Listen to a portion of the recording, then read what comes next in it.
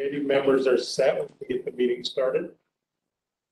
So Dr. Davey, you all set? I am, I am.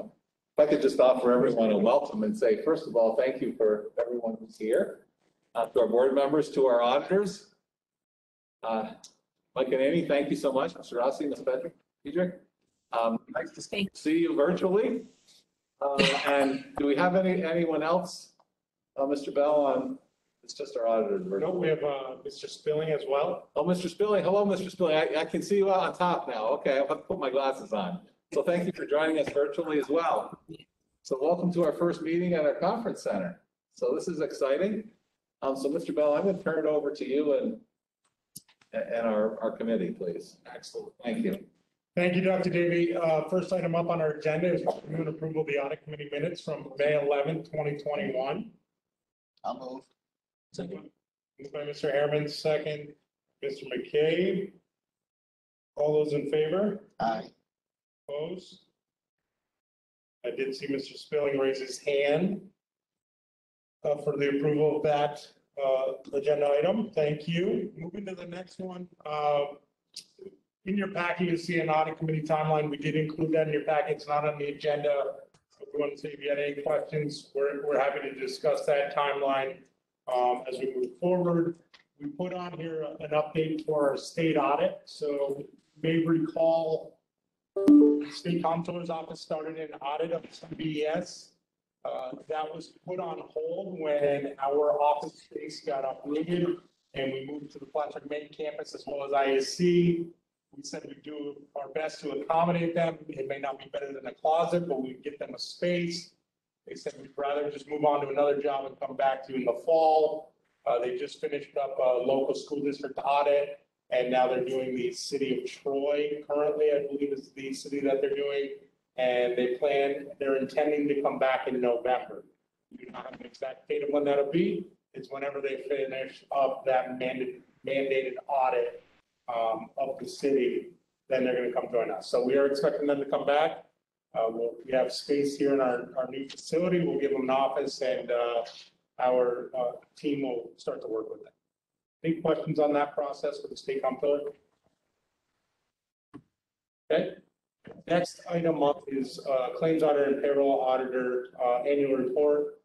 Uh, We like to have our, uh, we'll our claims auditor, uh, come to the meeting to meet with the audit committee, so you have an opportunity to hear from them directly, uh, things that they may be seeing during the year, um, any comments they may have that they want to present to the audit committee, and give the audit committee really an opportunity to ask them questions. Uh, Since this is a direct appointee of the board and they, uh, the claims auditor is fulfilling the duties of the board, uh, we'd like to say, hey, this is your time to ask them anything. Uh, And uh, I'll start by introducing Angela Jeanette. She's, she's been doing this a long period of time for the board. and She's a, I would say, an asset uh, to the CVES board uh, with the work that she does. She's thorough. Uh, she's detailed and, uh, she helps our team to find improvements to prevent mistakes from happening and reoccurring. So, uh, it actually works out nice, uh, working with someone that actually is in-house, uh, because it is, um, someone that knows our operations, knows how we do things in the BOCES, learns from this process and actually helps us overall as an organization. Um, this is allowed, or the claims auditor is allowed to be a internal employee as long as they are not part of or have any duties in the uh, business office function of our, our BOCES or the accounts payable process in particular. So uh, Angela does not have that, so she's able to do the claims audit work. So that being said, Angela, I'd like you to just uh, pass it over to you and then ask the board if they have any, or the audit committee if they have any questions. You you. Um, I just want to say that it's been a very good year, but an extremely busy, busy year. We've had a change in which you all know.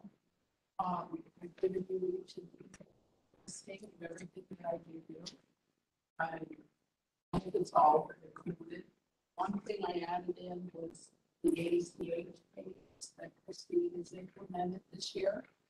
Um, it's an electronic payment thing, so they review the final schedules, they just make sure that it's being assigned correctly, whether it's check, ACH, electronic, those two payment methods that we use. So Other than that, um, I, I don't have a lot to add as far as this, this, we've been doing, has been amazing, really. And everyone's been extremely, you know, accommodating. Always found a corner to put me in. We made it work, you know, and with very little, um, wrinkles.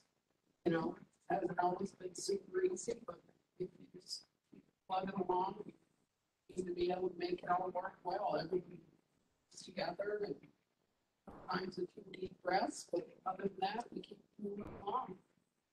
I don't know if anyone wanted to have uh, any questions you'd like to ask me on what I'm doing.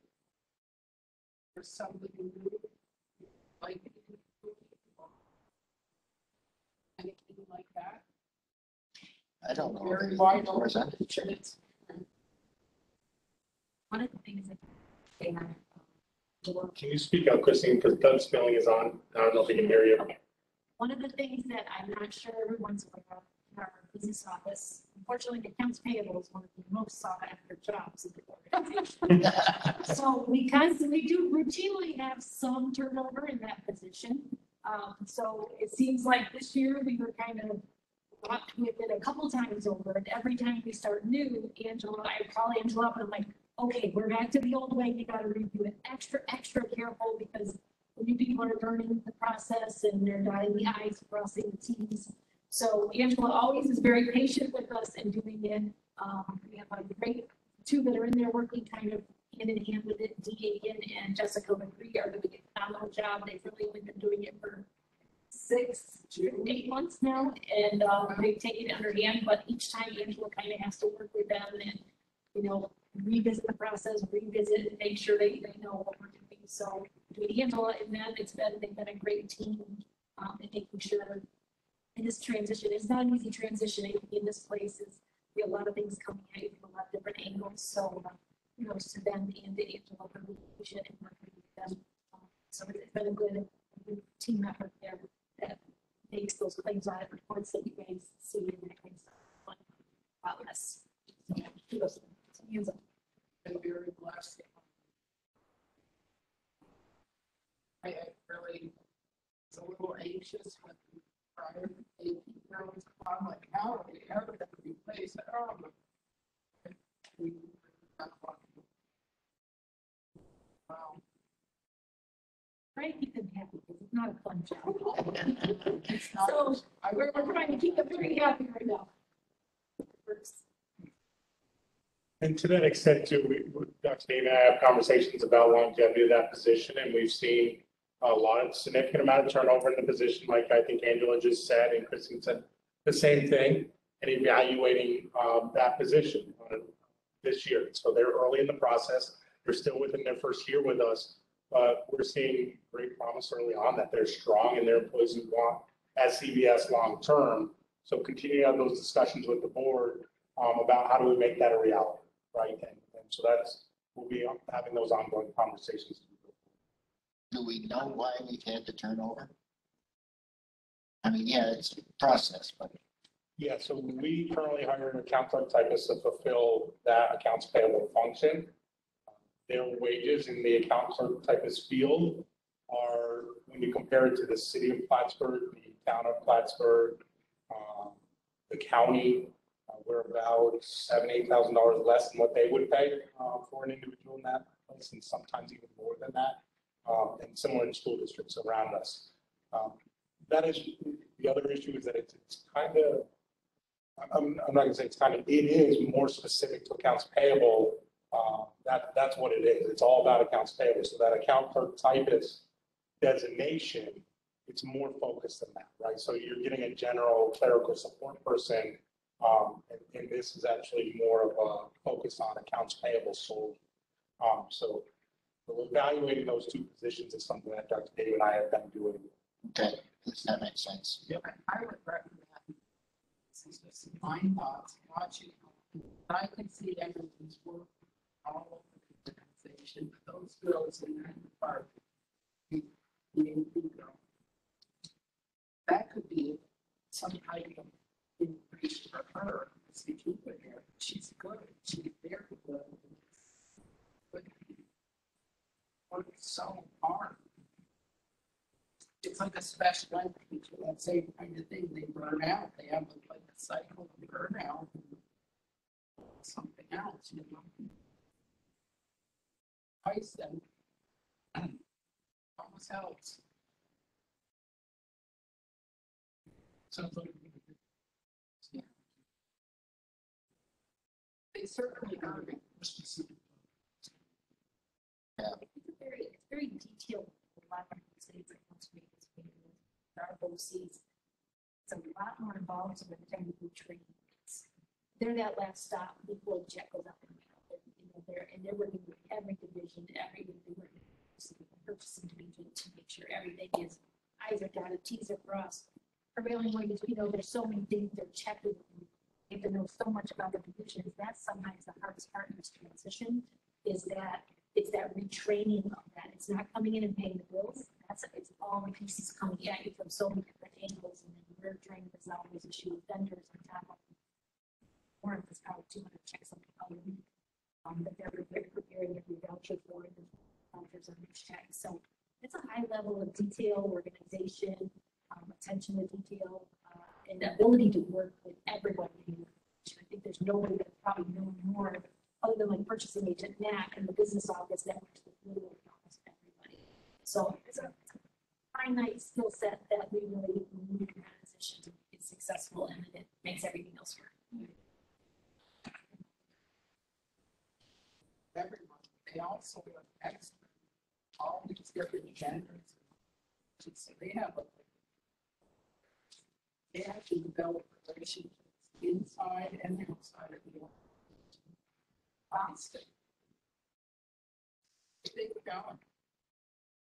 organization. Mr.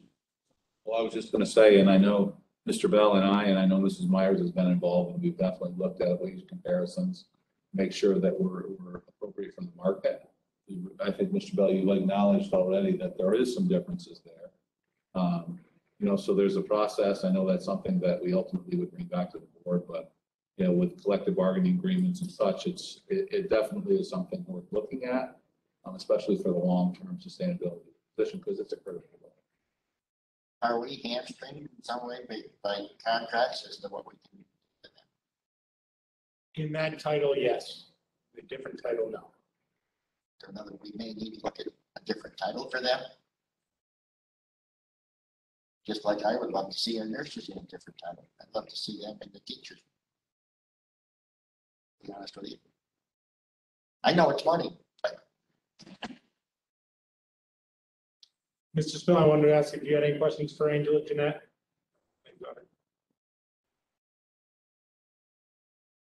Go. None at this point. With that, Angela, thank you. Uh, really appreciate you being in here and, and giving that presentation. I know you're gonna help us make sure we're managing traffic into this building. Tonight, help out with your dinner. That's right. So, so I, before you go, I just want to take a moment and thank you. Uh, Ms. Jeanette, also Ms. Moulton, for both of your work. Um, I, I can share with you many times, Ms. Jeanette is here late, so is Ms. Moulton, and they're doing yeoman's work. They're paying, you know, close attention to what their responsibilities are, do an excellent job. And so I can really acknowledge and want to thank them personally on behalf of the organization, but as district superintendent for their, their thorough and attentive work. And- And I know uh, Mrs. Myers as well for your leadership in making sure you answer those questions, Mr. Bell. So we've got a really good team and we've got great folks who are stepping up and doing a good job and want to provide the support needed. So thank you. I want to thank you. Deputy, this and to be honest, that is task, so I, she is here.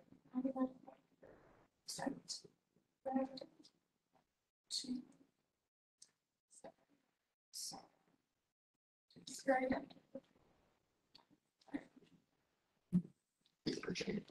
very much. for allowing me the opportunity. We appreciate it.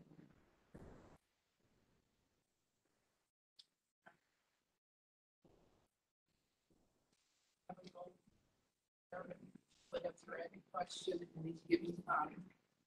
I'll Very clear why I'm something.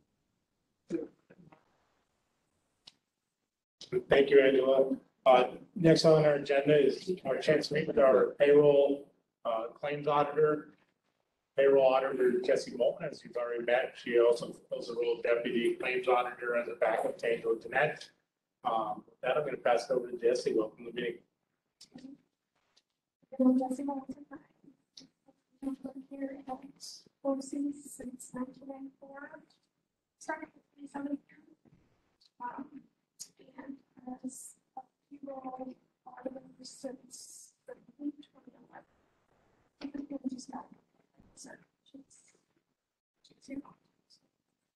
Um, But, um, mostly what I do, when I have an extra set of eyes looking at, um, time sheets for each payroll. And my main focus is on, you know, any um, employees that submit the time sheet just to- to make sure there's no overlap the regular working hours. um, Time we have to, you know, watch for overtime. Um, and then if I see, you know, usually it's the same names, but if I see new names, I, I log in, and I just kind of check to make sure that it's set up right. Sometimes it's a little hectic, because of course, it's just all time sheets, you know, electronic time sheets now. Um, but they're still on the spiking. So summertime it does get over. Uh, Other than that, like I said, just usually watch for, um, checking these math, make sure, make sure their rate of pay is correct, watch for the overtime. Yeah, when Jesse says watch for those are the things she typically finds. So she is, is really good at finding those items. We, with our schedules especially, uh, sometimes employees can be working a thirty-five hour week, sometimes it's 37 and a half, uh, sometimes it's thirty. So you always have to look at, at the contract, what time of the year is it? If they're claiming extra hours, they paying straight time or double time? And I will tell you, our payroll clerk Brenda Prue is phenomenal. She's really, really, uh, fantastic at her job. But there, there's things that slip through the cracks and, and she misses things. She, she may pay them incorrectly, but people also fill out their timesheets incorrectly as well. Um, and, and Jesse's there as that, um, final review of, uh, we may have made the payment already, but she's gonna review, uh, that payroll and then we correct it on future payroll. Sometimes we pay employees more, sometimes, uh, we, we pay them less in the future. So, um, she does a phenomenal job on a bi-monthly basis reviewing those payrolls.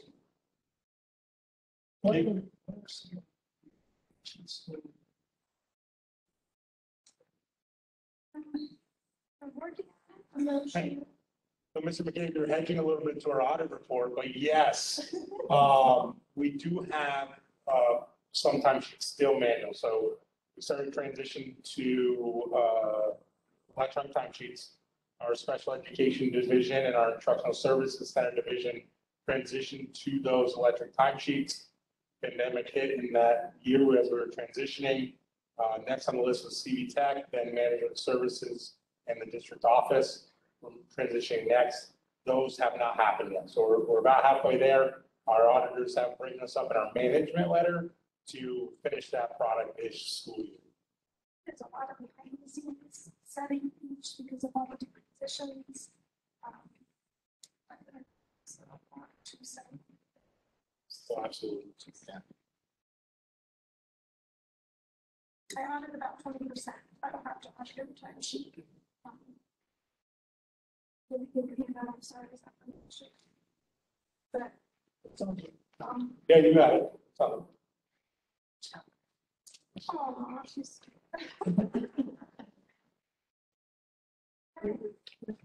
Uh, any questions online, Mr. Spilling for Jesse Moulton? Nope, sounds good. Thank you. Thank you, Jesse. Have a good night. Appreciate your work. Thank you. Next up, uh, we have our visitors, like Dr. Davey had mentioned, we have Mike and Amy online. with us to discuss our 2021 uh, audit report. So the floor is yours, team. Thank you very much. And you all should have received a draft copy of the financial statements. The five-point plan says that we are to present the financial statements to the audit committee, and it's the audit committee's job to make a recommendation to the board for acceptance of those financial statements. Once they are accepted, they are sent to OSC, New York State SED, and then we certify them and send them off to the federal government. So the financial statements start on page one, and that is our independent auditors report. And at the bottom of page one, we say, in our opinion, the financial statements referred to above present fairly. That is an unmodified opinion. That is the highest opinion we have as a profession. After the opinion, you have what is called management discussion and analysis. That is on page three through 11. It has been part of the financial statement since 2002. And it's a opportunity for the reader to have a condensed version of the financials and have a better understanding of what happens at the BOCES. I do want to point out a couple things in the MD&A, and the first one would be on page seven. So if you are looking at this and you are looking at the top line, which says revenues, charges for services, that is really what we do at the BOCES. We charge our components and other BOCES for services. They pay us. And you see it dropped quite a bit from 67 million to 36 million. And the reason for that drop is in 2020, the components paid for the current capital project. So they paid in all the dollars to finance the capital project. That was a revenue in 2020 and it would, did not reoccur in 2021. So next year, when we look at this, you'll probably see the charges for services within a few hundred thousand dollars of each other. Also in here, you see other revenues are quite a bit higher. If you recall, we sold off our aviation program to Hudson Valley Community College in Troy. And that revenue was sale of property and goes into other revenues in a BOCES. So that's a little bit of a difference year over year in the BOCES. Also in the MD&A, on page 10 and over onto page 11, there's something called factors bearing on the BOCES future. Previously to GASB 34, there was no place for management to discuss the financial statements. So the MD&A gave them an opportunity to tell the reader what issues are coming up into the future, and that's been page 10 and 11. Page 12 is the statement of net position and actually starts the financial statements. Now, the statement of net position is on the full accrual basis of accounting. GASB 34 requires this to be in the financials. New York State does not allow BOCES or school districts to do their everyday accounting on a full accrual basis of accounting. So if you look at the statement of net position, you see that our deficit net position is ninety million, nine hundred eighty-eight thousand, two hundred and eleven thousand. We audit four other BOCES. All of our other BOCES are also in a big deficit net position. There's a couple contributing factors to this. The first one, if you look where it says total liabilities, about a quarter of the way up the page, and then two lines up, it says other post-employment benefits, and it says 178 million, 380, 129. That is GASB 75. That is the study of the future health insurance cost that the BOCES is going to incur based on the current number of retirees, employees, the um, current cost of healthcare, the trends in healthcare costs. So they've come up with a full accrual liability of that, and that contributes to our net deficit position. The other thing in a BOCES that really contributes to the net deficit position is the fact that each year we give back our surplus to the school districts. So we are not building an unassigned fund balance. which would increase our net position. So this is required to be in the financial statements. We've placed it in the financial statements. And, you know, New York State has come out and said there is no funding mechanism for this other post-employment benefits.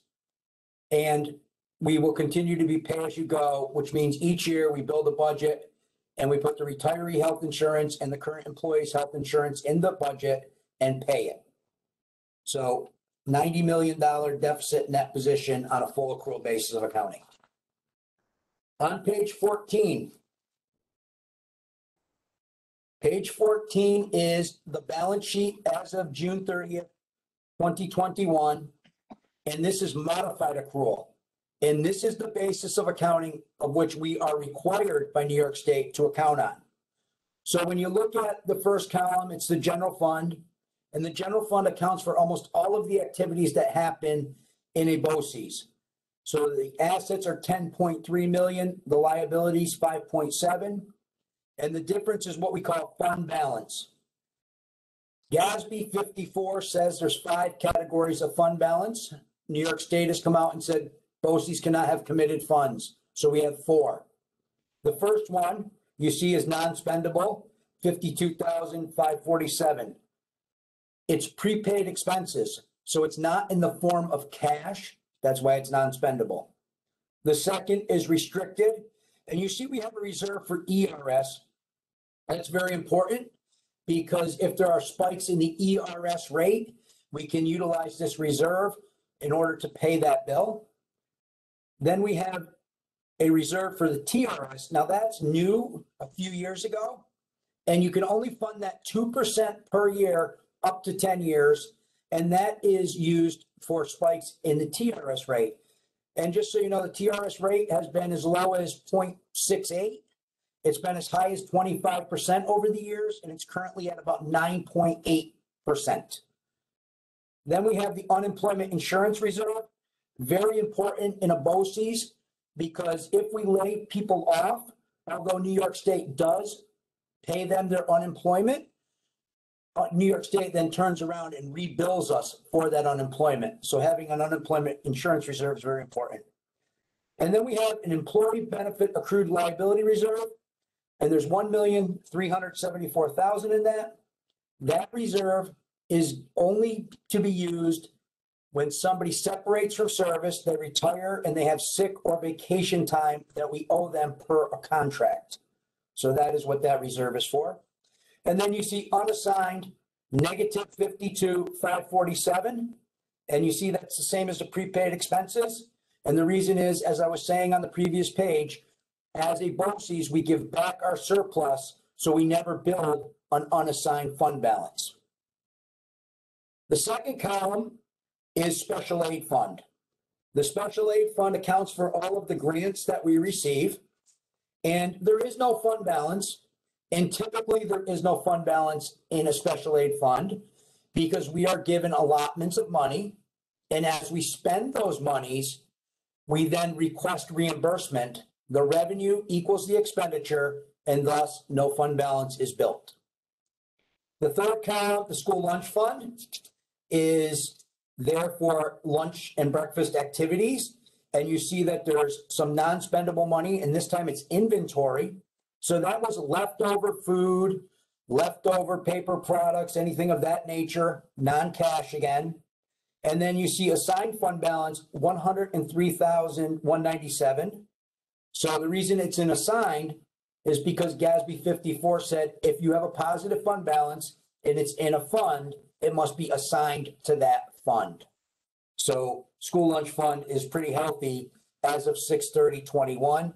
Um, the COVID epidemic has really helped boost this school lunch fund. So we'll see what happens when we come out of COVID. The fourth column, capital projects, you can see we have a fund balance of twelve million, two two one, two ninety-three. Most of that money in fund balance is the money I talked about back on page seven, when the components gave us almost $30 million to do the capital project. Additionally, in here is the CTE reserve. So career and technical education monies And that's a very important reserve in a BOCES because if we need to buy a bulldozer, it could be upwards of a couple hundred thousand dollars. So very expensive equipment that we utilize at a BOCES. So having that reserve is very important. And then the last column, CM, you see there's forty-seven thousand dollars in there. And that's new this year. What happened was GASB said you no longer can have a trust and agency fund. So a lot of the payroll liabilities moved over to the general fund and extra classroom, any types of scholarships, those things had to be moved to a CM fund. So basically, at the end of June 30, 2021, if you look where it says total fund balance and you look all the way across, it's sixteen million, nine forty-eight, four oh four. That is quite a difference from the previous page of a ninety million dollar deficit. And the one thing to remember here is a lot of that fund balance though, from the capital fund will go away or has gone away, gone away as the summer progressed. We spent a lot of money on the capital project. So, but as of June 30, 2021, from a modified accrual basis of accounting, the BOCES is really in good shape. After that, page 17 through 43, notes to the financial statement. The notes to the financial statement are very important. They provide a lot of detail about the numbers I was speaking about. Just if you looked at page 17, it, where it starts, you would see the reporting entity. It lists out all the components of the BOCES and it starts the significant accounting policies. Page 30 in the notes talks about the reserves that I spoke about on the balance sheet, and it gives you the general municipal law of why they're allowed and how they must be spent. I just gave you a quick overview of them. Page 35 is another important page. If you look at note three on page 35, you will see that we have cash of $17 million. And this note is saying that the BOCES has properly gone out and received collateral on this money. Because if there was a bank failure, you would only get $250,000 from the FDIC per bank. So in this case, third parties have collateralized our money. In the event of a banking collapse, we would receive all of our monies that we had in the bank. Page 38. I'll just point this out. This is a three-year chart of TRS and ERS. And this is one of the things that is pay as you go. So I didn't show you on that government-wide deficit of 90 million, but there is a liability for the TRS and ERS systems. But again, New York State is not allowing funding of that um, deficit. They're not asking us to pay it. Each year, we pay into the ERS and TRS systems. And you can see we're paying about $700,000 a year into ERS and a little over a million each year into the TRS system. Page 39. Although I don't like the fact that we had to book that $178 million GASB 75 other post-employment benefits, I do like that they have this table on page 39 that shows you what's going on with the health care. So if you look at this chart right here, it says inactive employees currently receiving benefits 236, active 321, 557. So this is going to be the downfall of school districts and BOCES in the future. We have several school districts at this time that the inactive employees already exceed the active employees. So as New York State loses population, these type of things, people retire at 55, stay on the health insurance longer, you will see that the inactive pass the active. And when we're building that administrative budget, the more and more and more legacy costs we have to put in, the less we can really do. You know what I'm saying? So it's a tough situation that schools are going to be in. After that, page forty-three. The only new note in the financial statements. So note twelve, restatement of net position. As I said, the GASB eighty-four, Governmental Accounting Standards Board came out with eighty-four this year and got rid of the trust and agency fund. So this note just shows how we move the money around in order to comply with GASB eighty-four. After that, we have pages forty-one or forty-four through forty-seven. And those are required supplemental information. And those are basically a rehash of the numbers again in other formats. And the required supplemental information, that means GASB, the Governmental Accounting Standards Board, has required them. Pages forty-eight through fifty-one is supplementary information. And that means somebody other than GASB has required them. And that's either the New York State Comptroller or SED. So after that, I will turn it over to Amy. So after the regular financial statement audit, the next part of our audit starts on page fifty-three. So Michael showed you on page one and two, we had our first opinion on the financial statements.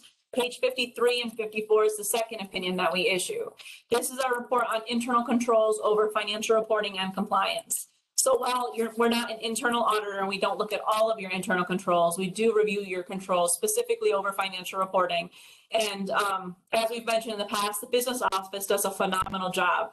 We get everything we need. We get it very timely. The books and records are in excellent shape. We're not proposing audit adjustments. Everything is very clean. The controls are working and working very effectively. So we have no significant deficiencies or no material weaknesses to note here. It's a clean opinion.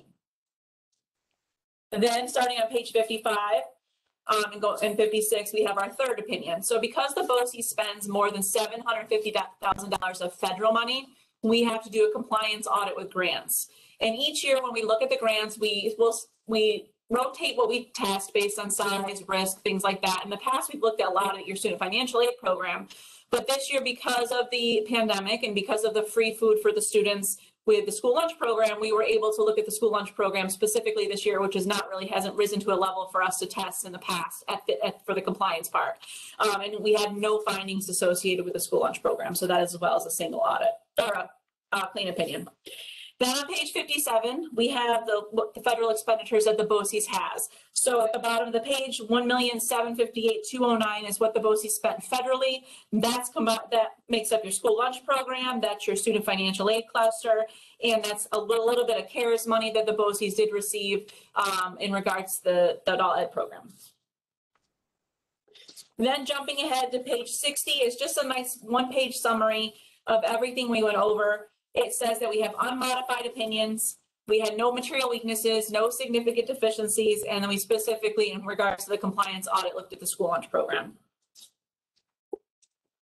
Then after that, we have the, the audit of the extra classroom activity funds. So as Michael mentioned before, we have the new accounting pronouncement for GASB 84.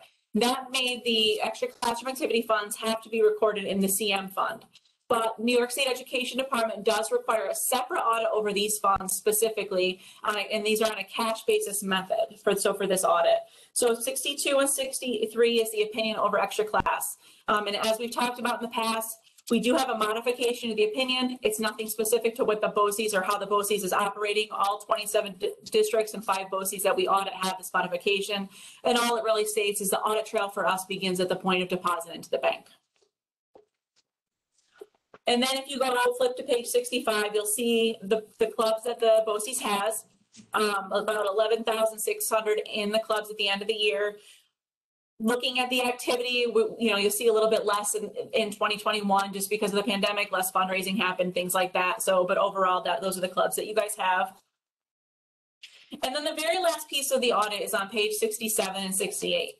This is our management letter. These are things that do not rise to any level to modify any opinions. These are just things that when we go through our audit, we bring to the attention of management and the board, ways to improve controls or efficiencies. The format of the report, the, the letter is we give you an update on any comments that we had last year, and then we give you any new comments that we had this year. So in regards to the prior year findings, the first and the second one um, are pretty much corrected. So the first one is completely corrected. We had no um, CoSers that went from positive to negative. The second one in regards to personnel files, um, we are saying it's in process. We were, when we were there to do the audit, all the personnel's files were being scanned at that time, so that, that will be, that is corrected pretty much as well. We did have two comments this year, and you guys did steal our thunder a little bit on the second one, Eric, and, but that's okay. Um, the first one is in regards to bidding. So this is a school lunch program. So we, when we specifically looked at the compliance audit, we had to look at the bidding in regards to school lunch. And what happened this year, because the BOCES spent more and purchased more because they served more meals, um, a couple of the, um, the vendors went over the, um, bidding requirement. If- And so they were not, they weren't purchased from vendors in accordance with the purchasing policy. So we're just recommending that BOCES review its policy and buy only from vendors that are awarded the bid or are on state contract. And again, this was kind of a one-off year just because there was more expenditures, more food purchase, things like that. And the second one, Eric pretty much already talked about, but this is in regards to the time cards and the payroll and just kind of getting everybody into that um, electronic time card system. But as you can see, I mean, very minor uh, management letter, letter comments. The BOCES does a phenomenal job with their books and records and the audit goes very, very well. And I know that was kind of a brief overview of the large financial statements in this large document, but did anybody have questions or anything they'd like to talk about specifically in regard to the financials or the audit process at all? No. No, good overview. Thanks. Thank you. Yeah, great overview. You guys are amazing. Uh, it can't be, it cannot be overstated about, uh, the amazing work that Christine Myers and the managed services team does on a daily basis and an annual basis.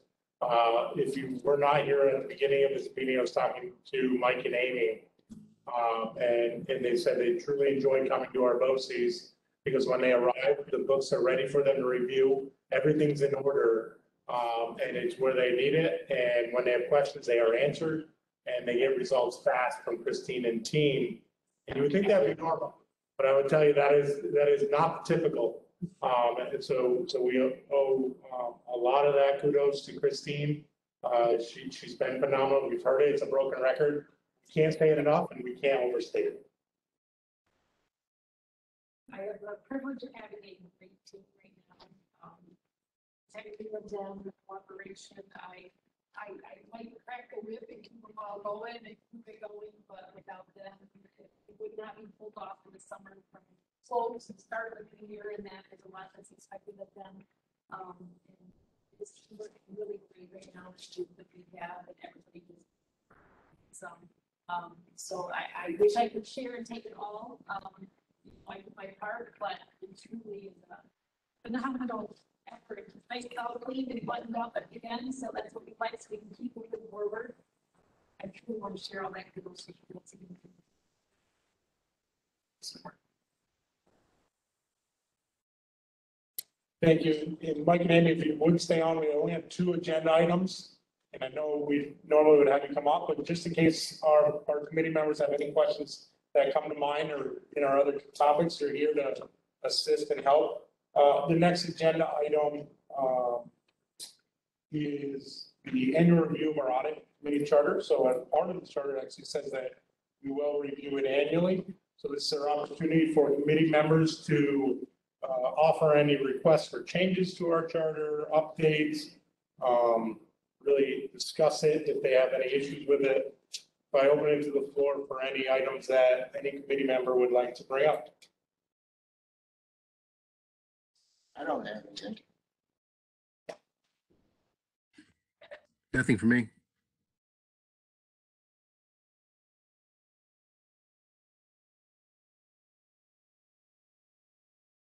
Okay, Can you officially accept the audit to be presented to the board? sure. So I will uh, present to this committee uh, the opportunity to move forward the audited financial statements as presented by Mike and Amy from West & Company to the full board of uh, BOCES board at tonight's meeting. I'm gonna make that motion. Second. And for our three board members, should vote. Aye. Aye. Okay, thank you. Thank you very much. Yes, and, and so now with that successful vote, I too want to offer my thanks and appreciation to our, our management services team, our auditors, as well as our, our own internal team for again, a job well done, attention to detail, um, and really exceptional hard work to really pull, provide everything needed, but also to do things right throughout the year. Um, things were not, you know, glossed over. There was attention to detail each step of the way. And we're open, Mike and Amy, to, to your suggestions as well. You've been with us quite a few years. But you also know that we've got a good team who take their job seriously and, and, and that's really important, especially in this day and time where any inconsistencies really can, can become problems very quickly and, and really cause, you know, concerns for everyone. Um, so we're very fortunate to have a great team and great leaders, and Mrs. Myers and your team, thank you, Mr. Bell, your team as well. It's a great leadership team and great, you know, financial responsibility is, is taken and accountability um, to do a job well done and, and to make sure that it continues in that manner. So thank you. Thank you, Dr. Davey. Uh, next item up on our agenda is, uh, reserve plan review and uh, Mike, thank you for pretty much running us through our reserve balances.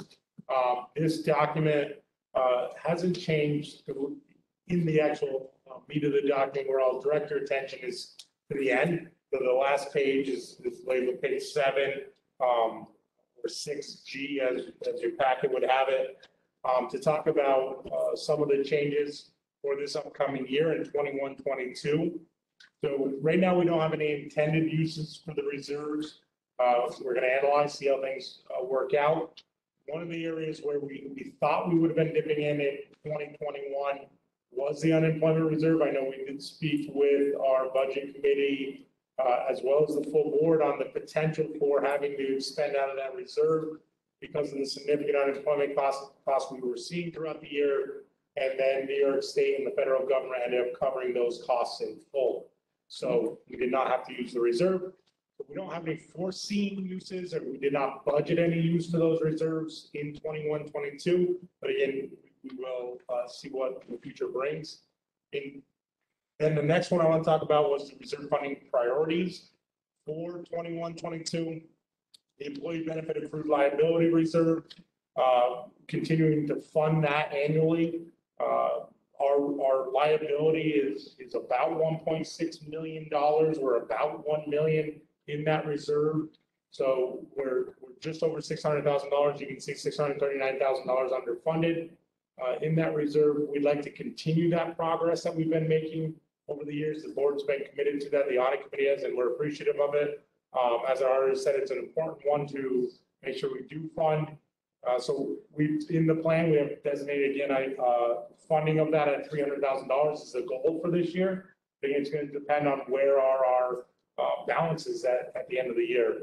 Um, Then the other item was the TRS reserve, like Mike had mentioned, you can only uh, fund it at two percent a year up to uh, ten percent of your total TRS uh, salaries uh, in a year. Our, our salaries would be rounded down to ten million uh, for the year, so two percent is, is about two hundred thousand. It's just uh, that we can fund it annually. We've done it three years in a row.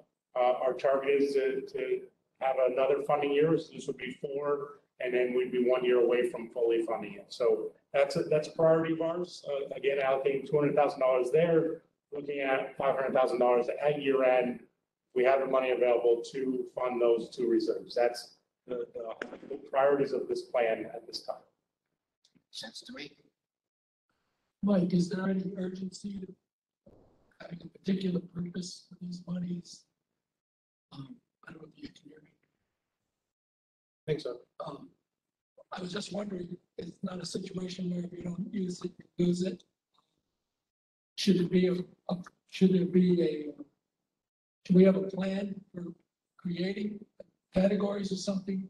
to Create specific purposes for this fund?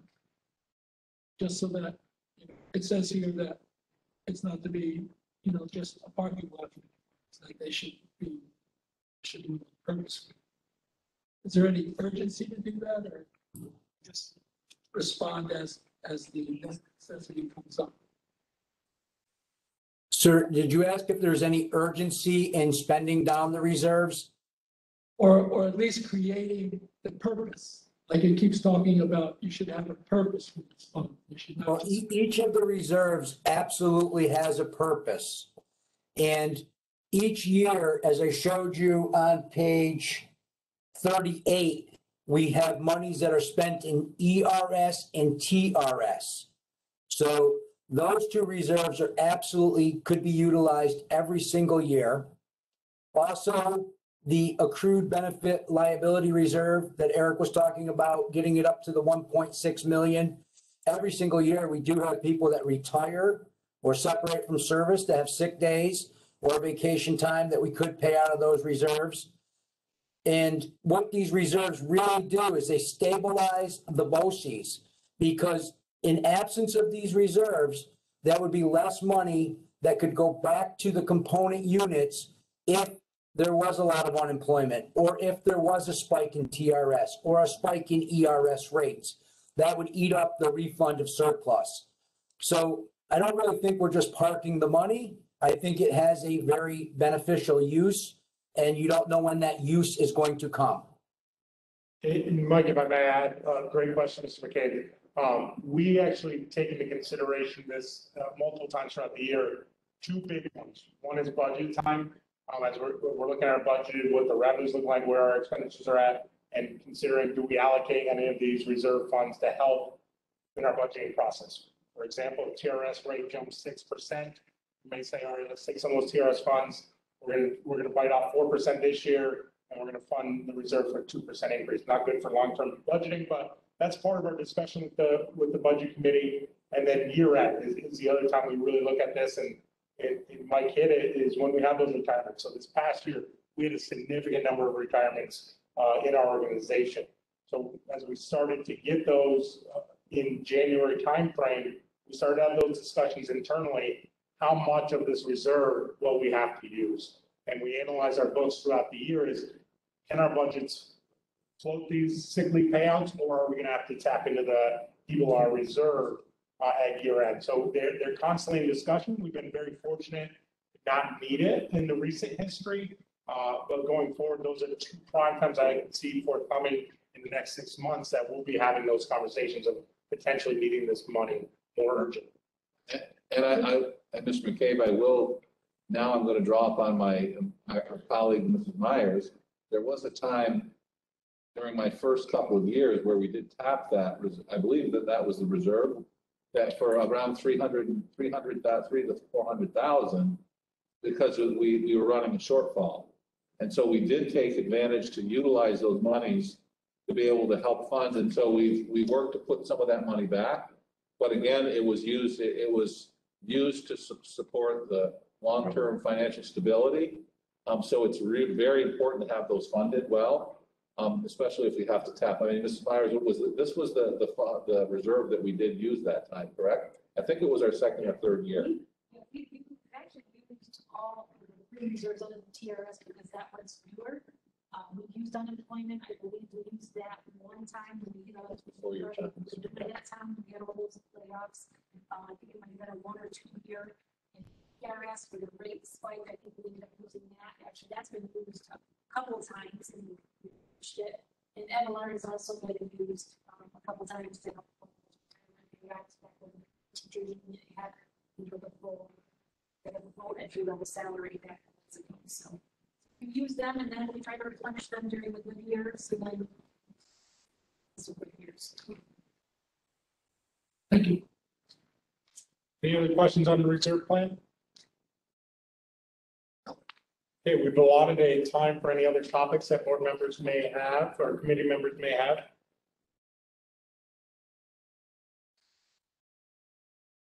Okay, future meetings are listed there for your reference. We are planning to be back at the CV-TEC main campus in December uh, for our holiday dinner. Uh, If that does change, we'll let you know as committee members. Uh, But we will plan that to be at the CV-TEC uh, Digital Arts and Design Classroom right inside the main entrance. And I appreciate your time today. Seeing no other topics, so I'll ask for a motion to adjourn. Okay, Second? All in favor? I, Aye. Okay. Thank you so much. Okay, we'll see you next week. Yep, see you Okay. six thirty. Mike and Amy, thank you. Thank you. Mr. Right. Spilling, thank you for joining us as well. Thank you. Okay, appreciate it. Thank you. And I am Myers, thank you.